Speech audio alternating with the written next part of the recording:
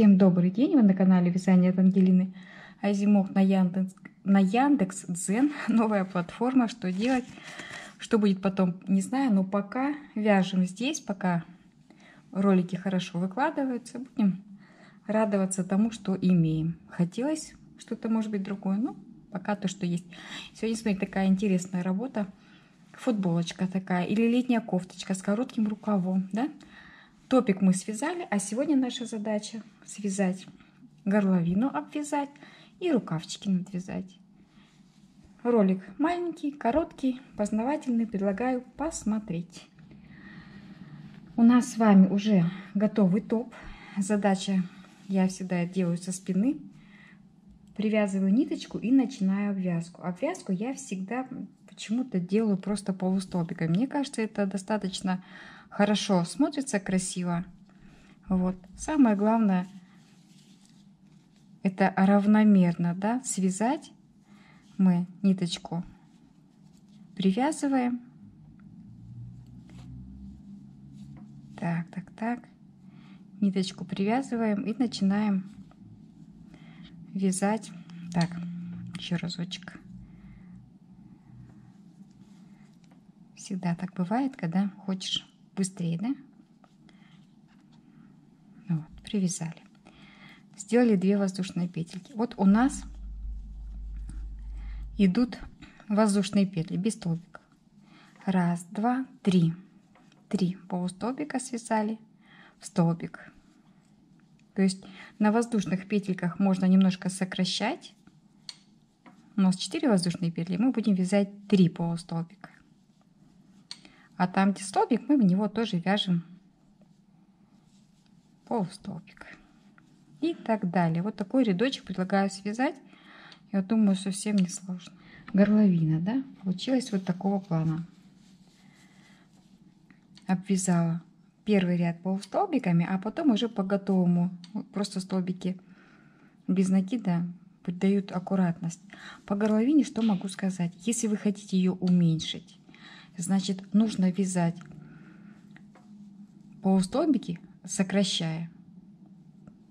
То есть где-то надо уменьшать. Допустим, каждые 5 полустолбиков 2 вместе связать, да?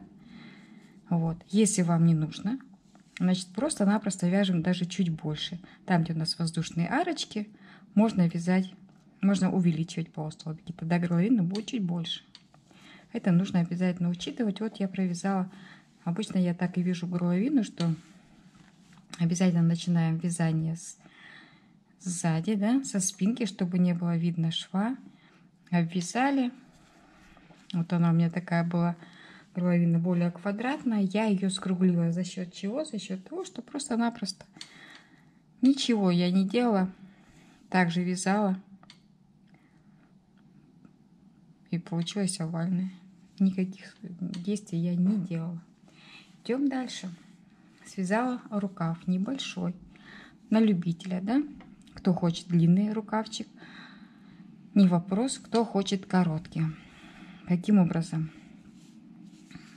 Если мы уже все тело связали таким узором, и вы знаете, как это вяжется, то уж совсем не сложно. Вот где у нас пройма. Находим пройму, там прям где подмышка у нас. Вот. В это место присоединяемся, привязываем ниточку, потому что здесь не будет видно шва. И поэтому удобно начинать. Наш первый рядочек вязания нашего очень красивого узорчика такой. Один, два, три воздушные петли и еще два столбика. Помните, пышный столбик у нас идет. Раз, два, три, четыре, и самое главное, как распределять. Тут получается чисто интуитивно. Я вот следующую арочку столбик с накидом провяжу. Один, два, три, четыре. Теперь, ну вот примерно на одинаковом расстоянии, да, пышный столбик. То есть первый ряд у нас идет такого плана пышный столбик и столбик с одним накидом. И главное один, два, три, четыре. Наверное, все-таки примерно вы должны представлять, примерно, сколько, какое расстояние оставлять между ними, потому что у нас же здесь внизу нет столбиков. То есть мы вяжем все на интуиции. И чтобы не тянуло, 4 воздушные петли связали. Раз, два, три, четыре. Вот. Чтобы не тянуло, ставим крючок, дотягиваемся куда? Вот, вот сюда. И не бойтесь, набрали, допустим, первый рядочек, примерили. Вам показалось, что узковато или наоборот широковато. Распустите первый ряд, это несложно. Один, два, три, четыре. И еще раз сделайте набор так, как вы считаете нужным. Вот. Очень часто рукав, пройма у нас широкая, и рукав нам нужно подуменьшить. Тогда, да, тогда смотрите. Раз, два, три, четыре. Тогда мы не растягиваем, а наоборот вот так вот немножечко увеличиваем расстояние внизу. Вот так вот. Как бы натягиваем. Расстояние внизу больше. Здесь 4 у нас воздушные петли. Тогда вы сократите. Если сокращать не нужно, тогда вяжем вот на таком расстоянии примерно как вверху воздушные петельки, так и внизу оставляем такое вот расстояние. 1, 2, 3, 4. Вот. А в общем и целом вязать рукав абсолютно несложно, не бойтесь. Самое главное сделать первый распределительный ряд нашего узора. Один, два, три, четыре. А он несложный. И, конечно, посчитайте, сколько в первом рукаве сделали столбиков, столько и во втором, да? Чтобы все было одинаково.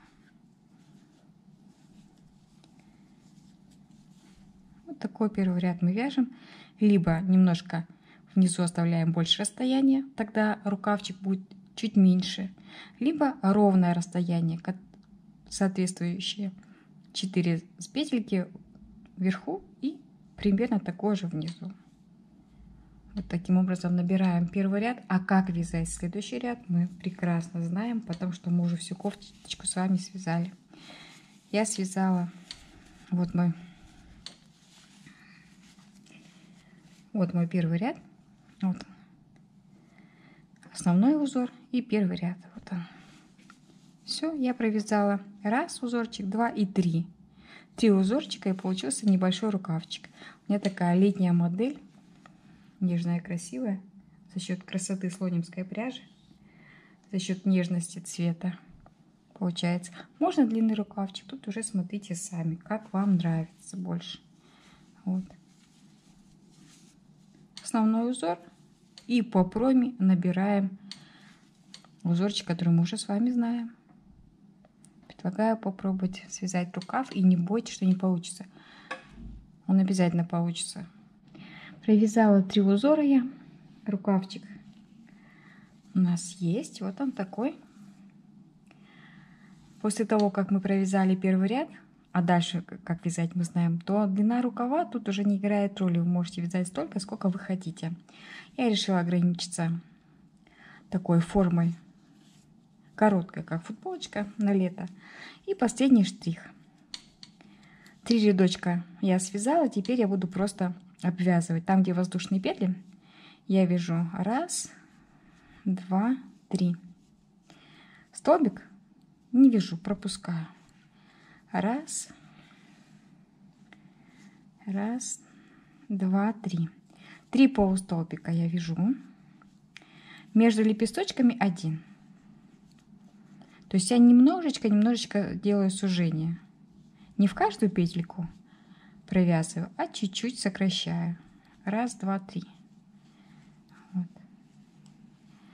И следующий ряд я провяжу для завершающей такой стадии чтобы уже все было красиво и аккуратно, провяжу один ряд столбики без накида. Часто я так делаю. Вот, смотрите. Получается, первый рядочек, вот они полустолбики. И последний ряд столбики без накида. И получается красивая обвязка. Такая красивая обвязочка. И наша летняя кофточка, можно назвать ее футболкой, готова. Расход пряжи на размер 44, 42-44, такой, знаете, детский вариант. Получился 150 грамм всего-навсего. Очень приятный нежный цвет. И не ярко-розовый, и не прям совсем бледный, а вот такой именно нежный. Я называла цвет пыльная роза, мне так кажется, так как припыленный такой розовый цвет. Красивый очень узорчик. Надеюсь, вам тоже понравится. И свяжите своим деткам, внучкам, а может быть и себе, почему нет. Огромное спасибо всем, кто досмотрел ролик до конца. И огромная просьба, пишите, обязательно пишите комментарии в Яндекс.Дзене. Яндекс.Дзен, если видит, что активность есть на ролике, этот ролик продвигает, показывает большему количеству. И есть возможность у всех посмотреть. Если нет комментариев, то ролик задвигается на задворке и не показывается. А хотелось бы, чтобы работа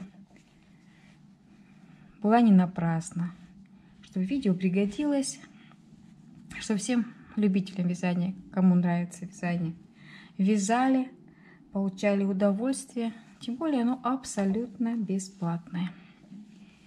До новых встреч на Яндекс Цен. Жду вас почти каждый день, а иногда и каждый день. До новых встреч!